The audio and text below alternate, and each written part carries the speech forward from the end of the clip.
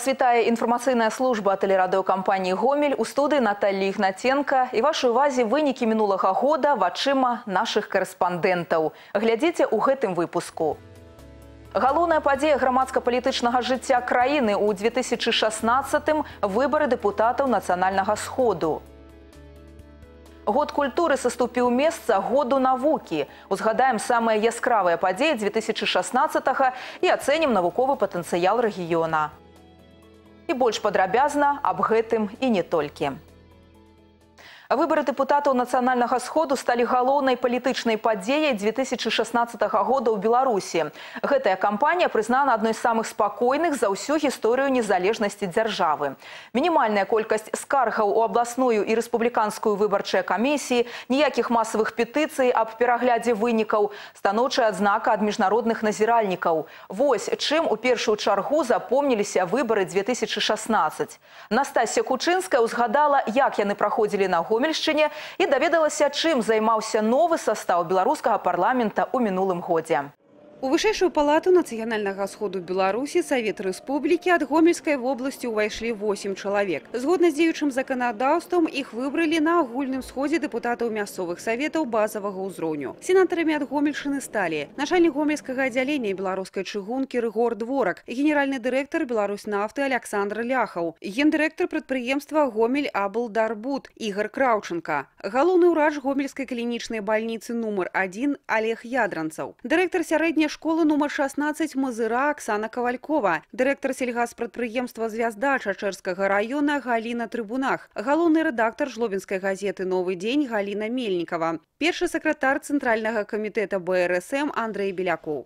Выборы ў палату прадстаўнікоў нацыянальнага сходу праходзілі куды больш востра. Вобласць падзялілі на 17 акруг. Стварылі 1038 выбарчых участкаў. У спісы для галасавання было ўнесена больш за 1 мільён выбаршчыкаў. Колькасць мясцовых назіральнікаў, якія адсочвалі ход выбараў у рэгіёне, складала больш за 7 тысяч чалавек. Працавала таксама 100 назіральнікаў ад СНД і АБСЕ. На месцы ў парламенце ад гомельскай вобласці прэтэндавалі 65 чалавек. Згодна з дадзенымі абласной выбарчай камісіі, удзел у выборах на Гомельшине приняли 829 505 человек, ці 75% выборщиков.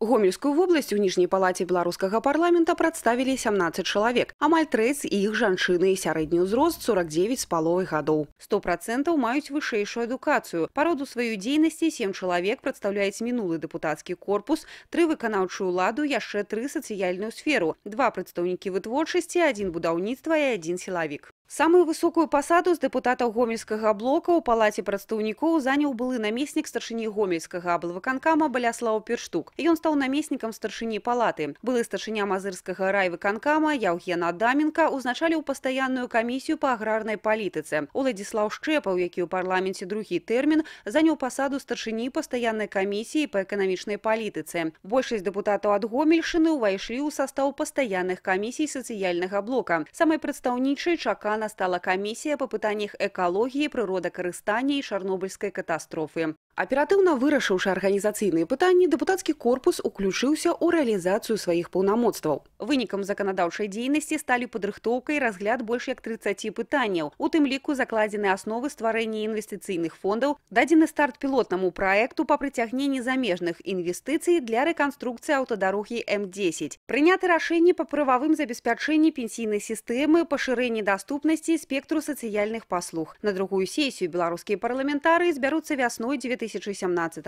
года. Настасья Кучинская, Вольга Слесаренко, телерадиокомпания «Гобель». 2016 год можна назваць паспяховым і для аграпрамысловага комплексу гомельскай вобласці. Яго вынікі былі падведзены ў лістападзе на абласным свяце працаўнікоў вёскі да жынкі, якое прайшло ў рагачове. Нават па прадстаўленых падворках можна было меркаваць. Гэты год для аграрыяў далёка не самы горшы, асабліва калі параўноўваць з лепшымі па ўраджайнасці перыядамі. У 1987 з улікам зерня кукурузы было сабрана 1 мільён 280 тысяч тонн збожжа. У 2014 мільён 530 тысяч тонн збожжа. Сёлета 1 мільён 260 тысяч тонн.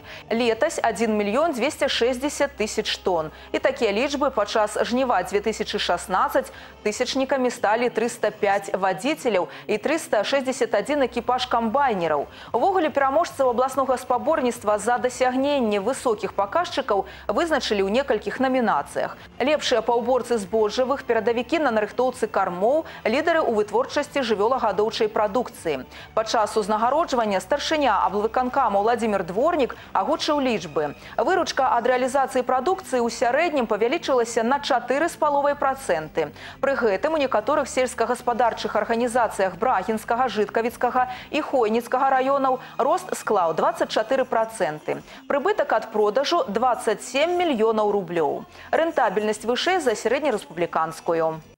У мінулым годзе гомельшчына заключыла сем двухбаковых пагадненняў аб супрацоўніцтве. Такім чынам зараз вобласць мае 51 адпаведны дакумент з 15 краінамі свету. На першым месцы ў гэтым спісе знаходзіцца расійская федэрацыя. Далей ідуць Казахстан, Украіна і Кітай. Аб леташніх дасягненнях і сёлетніх планах матэрыял нашых карэспандэнтаў. Гомельскі эканамічны форум і выстава кірмаш вясна ў гомелі мерапрыемствы традыцыйныя, а таму і аддаша ад іх чакаецца адпаведная. Не проста сустрэцца, але і знайсці новых партнёраў. Гэта бадай галоўная задача. У 2016 толькі замежных удзельнікаў больш як 300 чалавек і ўсе прыехалі з канкрэтнымі прапановамі. Як вынік падпісання 18 пагадненняў на агульную суму больш як 300 мільёнаў долараў. Апрача таго эканамічны форум выклікаў зацікаўленасць у прадстаўнікоў акрэдытаваных у Беларусі дыпламатычных місій. У мінулым годзе замежныя паслы увогуле проявляли до Гомельской области великий интерес. По итогам 2016 года также можно констатировать высокую активность и интерес аккредитованных в Республике Беларусь дипломатических миссий по посещению нашего региона. Гомельскую область посетили 9 чрезвычайных и полномочных послов с официальными визитами, в ходе которых им был представлен промышленный инвестиционный потенциал региона, Развіццё міжрэгіянальных сувязяў ва ўсіх сферах менавіта так можна сфармуляваць галоўную мэту дзён гомельскай вобласці ў Маскве. Тры паверхі дзелавога і культурнага комплексу пасольства Рэспублікі Беларусь у Расійскай Федэрацыі і літаральна ні аднаго свабоднага метра. Гомельскую вобласць у Маскве вырашылі прадставіць максімальна поўна ад культурных асаблівасцяў да эканамічных магчымасцяў. Урэшце галоўная задача знайсці новых партнёраў ва ўсіх сферах. Развіццё міжрэгіянальных сувязяў для гомельшчыны заўсёды было прыярытэтным накірункам. Дні вобласці у Москве еще одна реальная махчимость их поширения. Если даже посмотреть сегодня всем известный Гумсельмаш, то мы сегодня видим, что там только для производства этого комбайна тысяча поставщиков. И если посмотреть глубже, то 60% комплектующих этого комбайна – это Российская Федерация. Поэтому говорит о многом, что э, дает возможность сегодня развиваться нашим регионам. И мы сегодня стремимся делать все возможное для того, чтобы эти связи укреплялись, для того, чтобы экономический потенциал совершенствовался. Падчас дзён гомельскай вобласці ў Маскве у верасні мінулага года падпісваецца некалькі пратаколаў, але бадай найбольш маштабны будаўніцтва шчэбневага заводу. Яшчэ адзін дакумент тычыцца арганізацыі вытворчасці трафяных сумесяў для земляробства і кармавых дабавак для жывёлагадоўлі на аснове лельчыцкіх сапрапеляў. Актыўная работа па рэалізацыі гэтага праекта пачалася ўжо ў чацвёртым квартале 2016. Зарегистрировано предприятие Э, в настоящее время осуществляется подготовка соответствующих документов для начала деятельности. В последующем будет открыт филиал данного предприятия в Лильчицком районе по производству данных сапропелевых добавок. У мінулым годзе гомельскі абалвыканкам арганізаваў 39 візітаў замежных дэлегацый з 13 краін свету. Толькі з Китая рэгіён наведалі прадстаўнікі сямі правінцый. Падчас сустрэчы кіраўніцтва рэгіёна з прадстаўнікамі міжнароднай гандлёвай кампаніі з Нанкіна бакі абмеркавалі пытанні супрацоўніцтва ў харчовай і дрэваапрацоўчай прамысловасці. Сёння доля кітайскай народнай рэспублікі ў знешнегандлёвым абароце гомельскай вобласці складае каля 10 процентаў. Праведзеныя візіты закліканы ўстанавіць яшчэ больш цесныя сувязі. Надеемся, чтобы у нас будет шанс сотрудничества с вашими молочных продуктов, мясными продуктами и еще другие сельскохозяйственные продукты. У сваю чаргу афіцыйныя дэлегацыі гомельскай вобласці ў мінулым годзе таксама неаднаразова наведвалі Кітай. У сакавіку 2016 напрыклад, адбыўся візіт у правінцыю Дзяньсу. Па яго выніках падпісаны цэлы пакет дакументаў па гандлёва-эканамічным і навукова-тэхнічным супрацоўніцтве.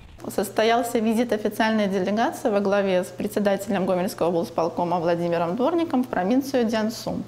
По итогам данного визита было подписано 15 двусторонних документов – в том числе э, соглашение о сотрудничестве э, в сфере строительства экономического шелкового пути.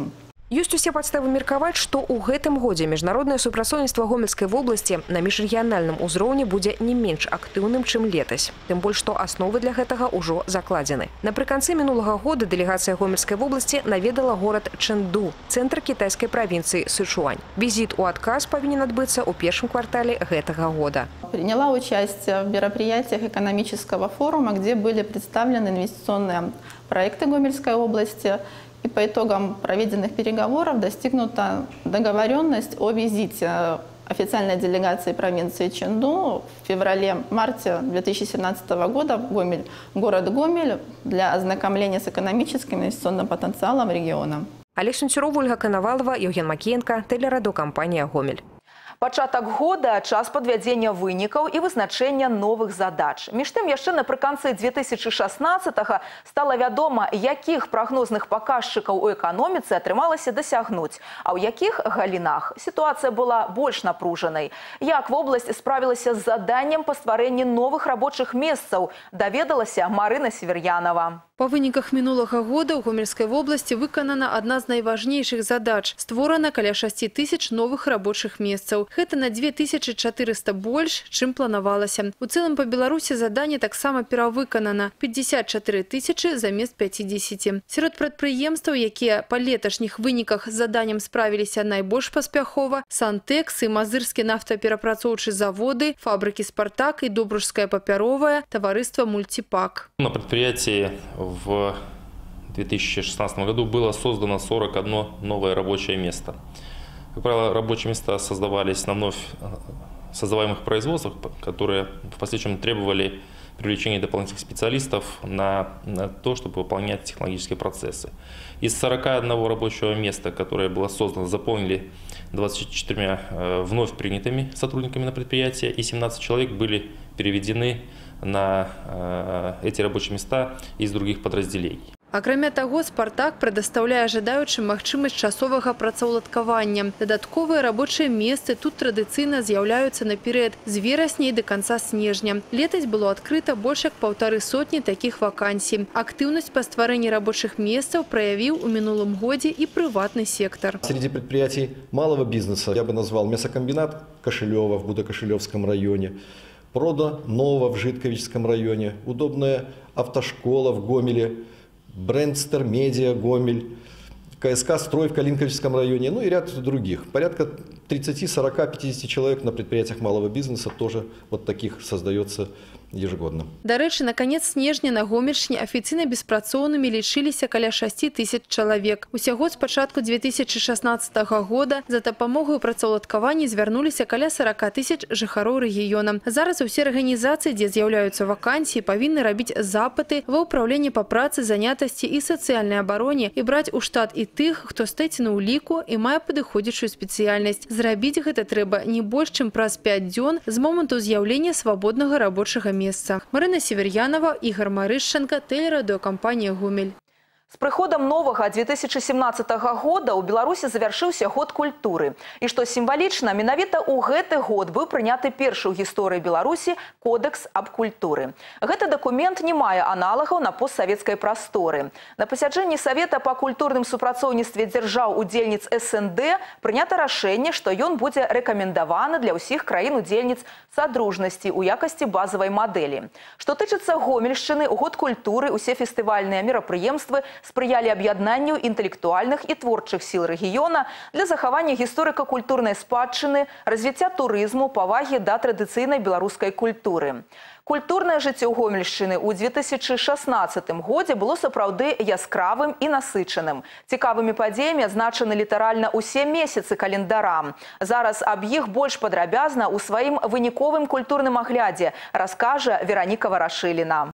Навагоднія святы час, калі выконваюцца мары, адбываюцца цуды. Таму ў першыя дні студзеня 2016 года тэлерадыёкампанія Гомель правяла тэлемарафон у падтрымку абласнога дабрачыннага праекта ад чыстага сэрца 2. У студыі прадстаўнікі абласнога выканаўчага камітэта і грамадскіх арганізацый, якія аб'яднаны адной мэтай аказанне падтрымкі людзям з абмежаванымі магчымасцямі. У лютым у гомелі адбылася прэзентацыя праекта вечары нацыянальных культур у ГЦК. Старт гэтаму доўгатэрміноваму марафону быў дадзены знаёмствам з традыцыйнай беларускай культурай. Мерапрыемства суправаджалася цікавымі экспазіцыямі і музычнымі выступленнямі. Майстры рамеснікі дэманстравалі публіцы свае унікальныя рукатворныя экспанаты, зробленыя з гліны, саломы, лазы і іншых прыродных матэрыялаў. Музейныя установы знаёмілі прысутных з калекцыямі рэдкіх старадаўных рэчаў, якія захоўваюцца ў іх фондах. Запрошаны Запрошаныя на свята артысты зараджалі гасцей пазітыўным настроем. У цэлым за час правядзення праекта вечары нацыянальных культур у ГЦК жыхары і госці абласнога цэнтра змаглі пазнаёміцца з нацыянальнымі асаблівасцямі рускай, украінскай, армянскай і яўрэйскай культур.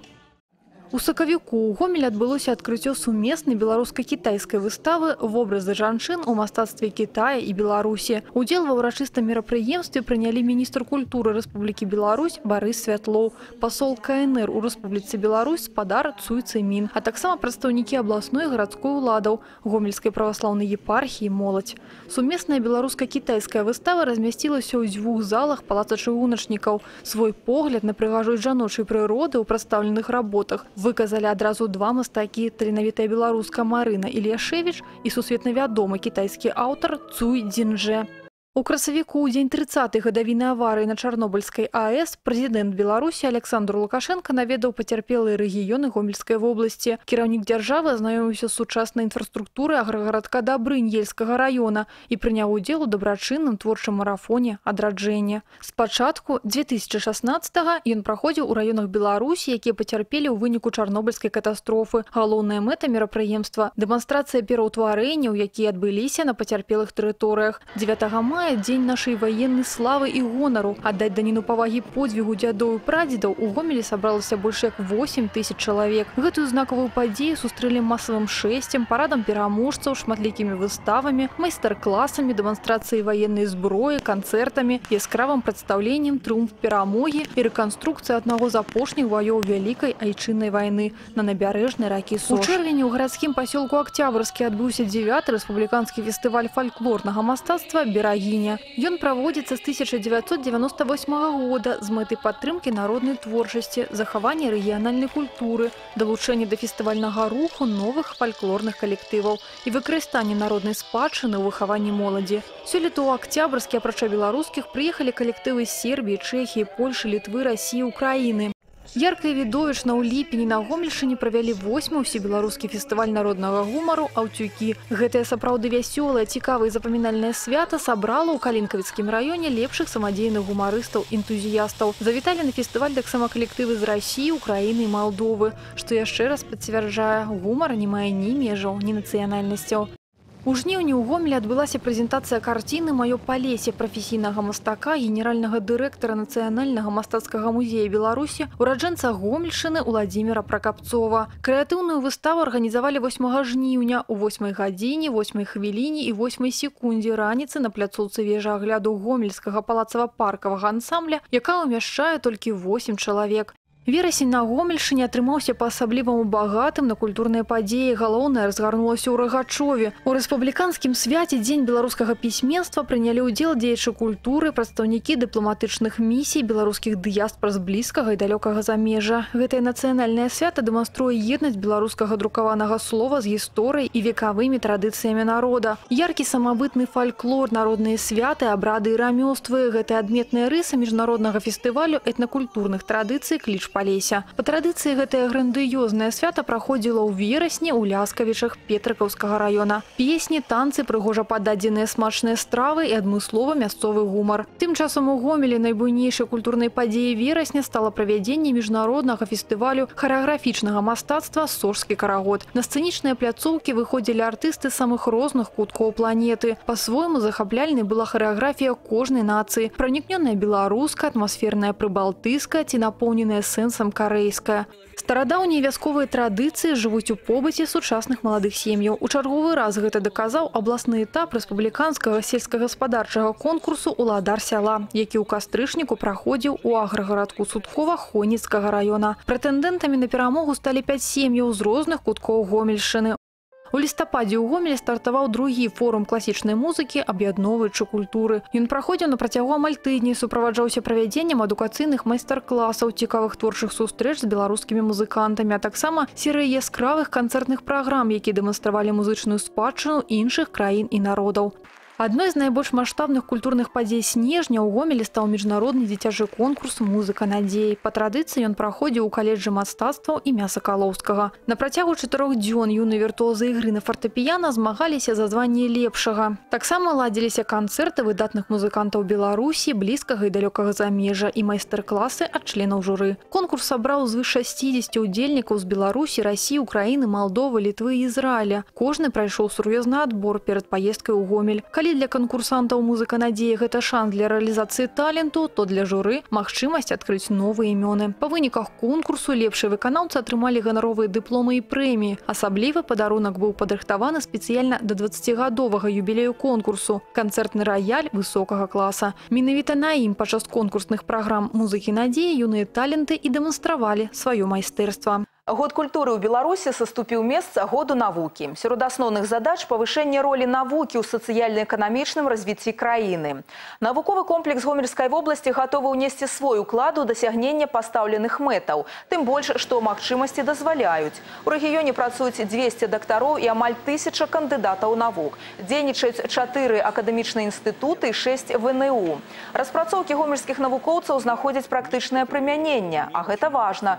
Навука не павінна працаваць у стол. Шчыльнае ўзаемадзеянне з эканомікай і сацыяльнай сферай адна з галоўных задач. Узаемадзеянне прадпрыемстваў з навукай павінна весці да паляпшэння эканамічных паказчыкаў. Каждый год где-то наши ученые Гомельщины но публикуют монографии, публикуют статьи в самых высокорейтинговых изданиях, создают объекты промышленной собственности, патенты, это по полторы-две сотни патентов в год гомельская наука выдает.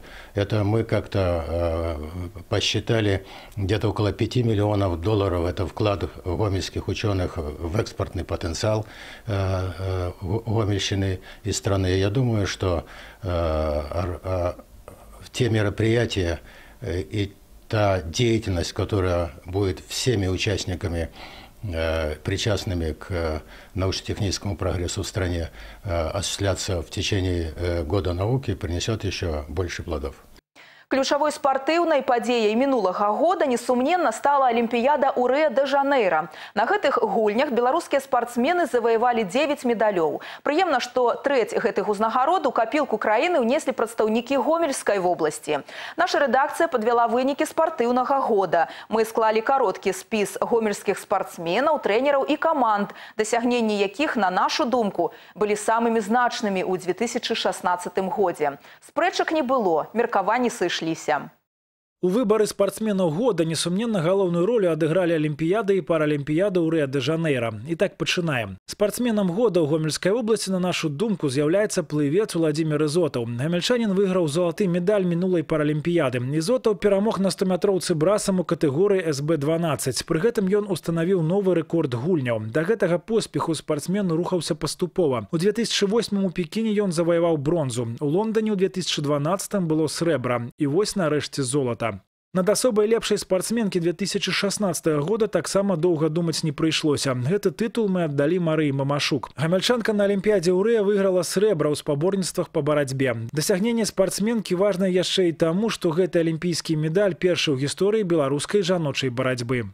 Тытул трэнер года атрымлівае Сергей Смаль. Менавіта пад яго кіраўніцтвам Марыя Мамашук і паднялася на алімпійскі п'едэстал. Дарэчы, сам Сергей Смаль уладальнік срэбра барселонскай алімпіяды 1992 года. Спадзяемся, што вучаніца перасягне настаўніка. Па крайняй меры абодва на гэта настроены.